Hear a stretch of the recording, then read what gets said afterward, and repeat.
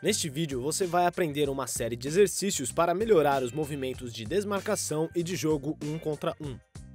Este exercício leva os jogadores a buscar espaço em quadra para receber um passe e fazer a cesta. Um jogador faz o passe atrás da linha de três pontos no eixo da tabela. Um atacante fica de um lado da tabela, atrás da linha de três pontos, e um marcador toma sua frente. O jogo se passa somente neste quarto de quadra. O atacante precisa se desmarcar para receber a bola. Ele pode utilizar o corte em V para se desmarcar, isto é, levar o marcador em direção à tabela para depois correr de volta à posição original. Ele também pode tentar uma desmarcação em backdoor caso o marcador tente interceptar o passe. Ao receber a bola, o jogador tem que tentar o chute driblando no máximo duas vezes. Se for bem feito, este exercício leva o atacante a fazer uma boa saída batendo bola para dificultar o trabalho do marcador. Assim, ele pode tentar o chute caso haja espaço.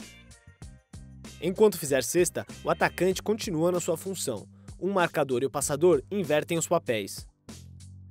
Se o marcador recuperar a bola, ele ataca em seguida.